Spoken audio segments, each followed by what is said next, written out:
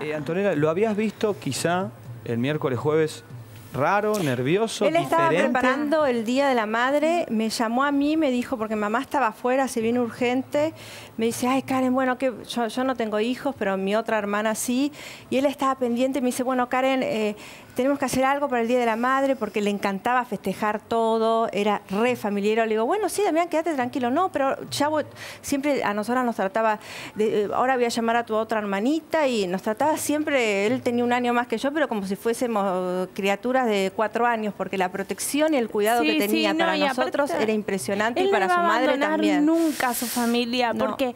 es un hombre que... O sea, para vos no, se puede haber fugado él. No, no, no, porque mira, le llamaban los amigos se le chifló el moño y el pibe se fue.